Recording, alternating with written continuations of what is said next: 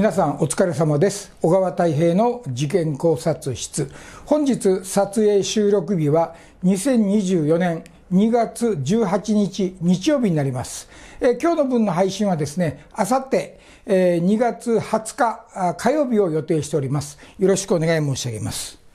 え今日はですね、あのダウンタウンの松本人志氏の関係で、えちょっと動きが先週ありましたのでね、え今日はちょっとそれを取り上げてみたいと思います。えタイトルは松本人志氏関連ということでね、今回ホワイトボードを使ったあ解説5回目になります。ちょっと先週ね、え動きがありました。というのはですね、第1回口頭弁論、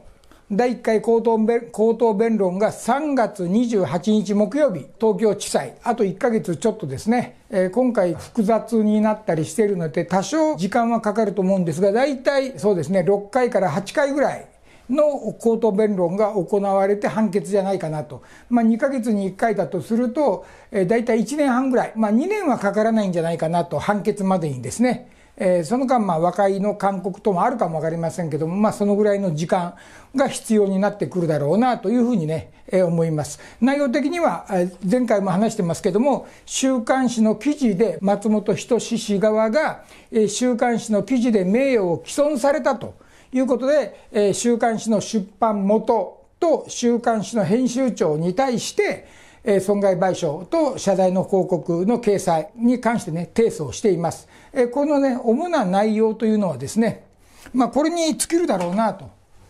え性的行為に関しての話になるんじゃないかなというふうに思われます。え松本氏側は事実無根だと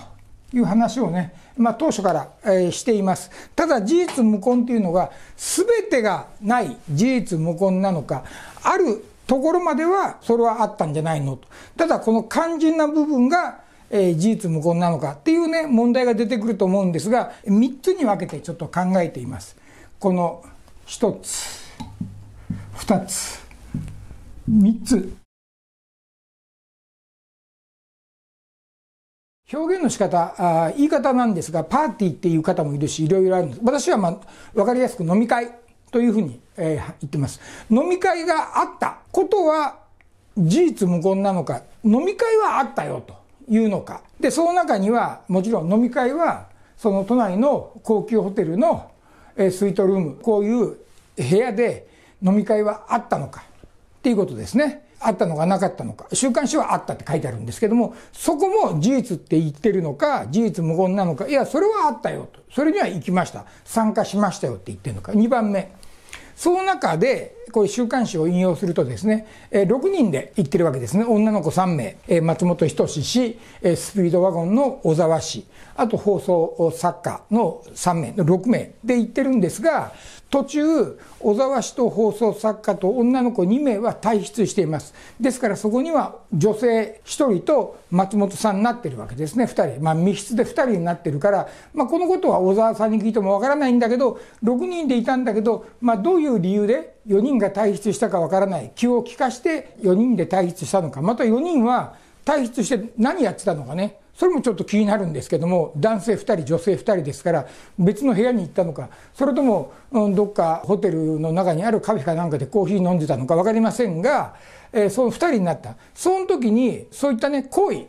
はあったのか、性的な行為はあったのかどうなのか。これ2番目だと思います。えこれは、まあ、本人と女性しかわからない小沢さんたちに聞いてもわかんないんですが、これも全くわからないっていうよりも、終わってからですね、終わったとか、全部の会が終わってから、その女性2人にこの女性が、いや、実はこうだったんですよって言ったかもわかんないし、まあそういったのも含めて、えー、そういう行為があったのかどうか。いや、そのことも、松本さんは、いやいや、そんなのないよ。何にもないよって言っているのか、どうなのか。次が一番大事なんですが、3番目。その行為は、強制的だったのか、それとも同意だったのか、もしくは不同意だったのか、別にあの不同意、強制っていうのがね、あの普通に道路を歩いてる女性を捕まえてきてやるのと違って、まあ、2人になってるので、いや、もう断りたかったけども、断るに断れないその状況、環境があったから、不同意なんだけどもっていうこともいろいろあります。まあこれは2がなければ3にはいきませんから、こういった行為はあったことまでは認める。じゃあ3番目は、いやいや、こんなものないよって言ってるのか、どこまで認めてるのかっていうこともあるんですけども、まあ、どちらにしても記事で名誉を毀損されたんだと。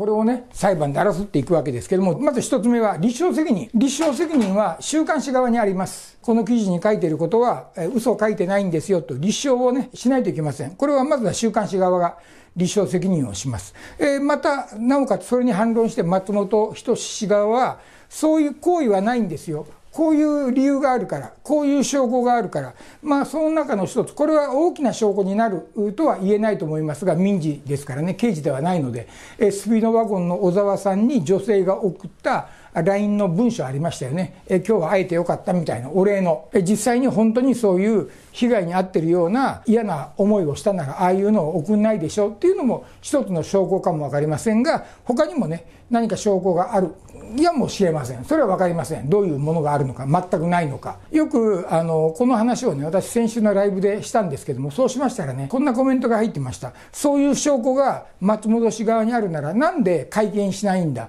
会見でそれを言えばいいんじゃないかって言うんですけども、これすでに提訴してますから、裁判になってるので、自分の手持ちカードを裁判前に出すバカはいないと思います。これは松本氏側が出したくても、松本氏側とか松本人志氏が出したくても、当然然これ代理人、弁護士がついてやってますから、いや、それはちょっと絶対出さないでくださいよ。これ後半で使うんですからって言われるので、もしそういったのがあっても、お互いそれは戦略の一つとして、そう簡単に会見等を開いて、とかね、どっかの知り合いのそういう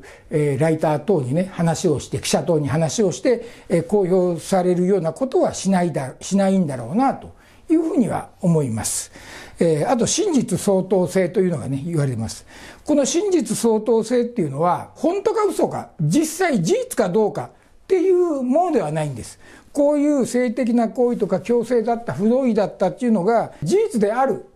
か否か、これ刑事事件ではないので、事実であるかどうかじゃないんですね。この週刊誌側は、真実であると足りる相当な理由があればいいんです。例えばその取材を受けた女性が、まあ、ある程度の話をして、これを、まあ、週刊誌の記者、プロですから、そのプロが、あ、これ間違いないな、というふうに信じるに足りる相当な理由、これをちゃんとあればいい。ですから、それが本当にあったかどうかは、刑事事件ではないので、あったかどうかは別なんです。そうするとなんか週刊誌側が非常に有利なように思えると思うんですが、それが真実相当性、取材を十分にしているかどうか、しているか否か、それはどういう状況でこうだからっていうのを、ことは、を発表します、ここでね。それを裁判官がなるほど、うん、それだったらもう間違いないというふうに思ってもしょうがないよね、という。まあ、あくまでも最終的に密室ですから、これ誰もわからないわけですよ。ね、しかも時間も何年も経ってるわけですから。ということを話しする。じゃあ、そうやって言ってる人を連れてきてくださいよ。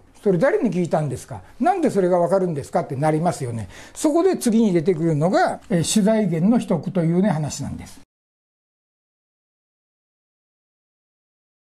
まあ誰から聞いたって当然ありますよね。聞かなきゃ記者の方は書けないわけですから。ただそれをいちいちベラベラベラベラ喋っていたら、たまったもんじゃないですよね。情報提供した方。特に今回のようにただ情報提供じゃなくて被害者でもあるわけですから、あの事実だとしたらですよ。そんなものをね、えー、裁判所行って、はい、宣誓してね、証言なんかできません。ですから当然ですけども、証言拒絶、証言拒否する権利もあります。ただ、できれば、証言してもらった方が週刊誌側は優位に働くわけですよね。じゃあそこでどうするかっていうと、裁判所に来てですね、まあ、ついたて、まあ、要は傍聴来てるから方からも誰からも見えないように。あの、普通は傍聴席から入ってくるんですけど、傍聴席から入ってこない。えー、弁護人とかが入ってくるところの出入り口を使ってね、えー、一切見えない、声だけ聞こえるとかですね、えー、そういうふうなこともあります。あとは別室、この同じ裁判所の建物なんですが、その南郷法廷ではない別のこう待機所みたいなところがあるんですね。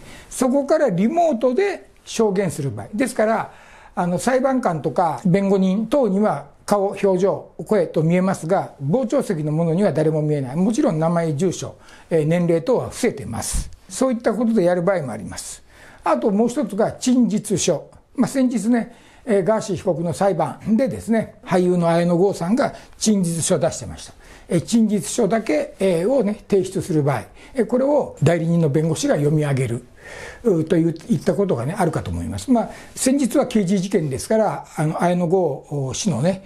陳述書は、あの、検察側がね、代読してましたけども、そういったのもある。ただ、陳述書の場合は、まあ、ないよりはいいかも分かりませんけど、反対尋問も何もできません。言いなりというか、あの、その、言ったもん勝ちじゃないけど、自分が言いたいこと言って終わり。っていうので、まあ、ないよりはいいですけども、ちょっと裁判官が質問したいとか、原告側の代理人が質問したくてもね、陳述書では質問できないので、このね、取材源の取得っていうのに関しては、まあ、あの、判例が、最高裁の判例があってね、NHK の記者がね、そういったことで取得で、結局最後まで拒絶したことがあるんですが、取材源がね、それはそれでね、それで認められるということで、これを証言を拒否したからとかね、取材源をオープンにしなかったから、これが信用されないというわけではないです。そういったところを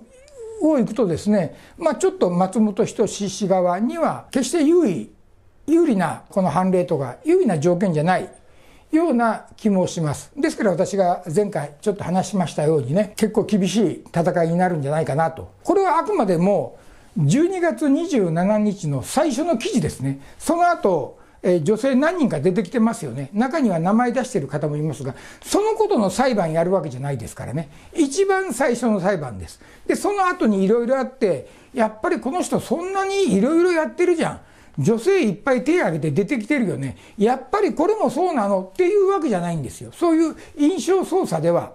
じゃないです、これはね。まあ一般の方、我々も含めて一般の方はそういう色眼鏡で見るかも分かりませんが、あくまでもこの裁判は12月27日発売の週刊誌の記事について争っているということを理解していただければいいかなと思います。第1回が3月28日になります。その後もね、ちょっとこの件については注視し、また何か新しい情報等があったら、私の方の動画の配信でお伝えできればというふうに思っております。本日は以上になります。ありがとうございました。小川太平の事件考察室ではですね、え皆さんからの情報をお待ちしております。まあ、コメントはもちろんですけども、え何か事件の情報、えご質問、ご相談、えそういったことがありましたら是非、えこのテロップ出てると思うんですけどもこちらまで、えご連絡をください。またですね、え取材の依頼ですねこういったところに取材してほしいとかですねそういったことがあればそういったものをものもですね是非ご連絡いただければと思います。よろしくお願いします。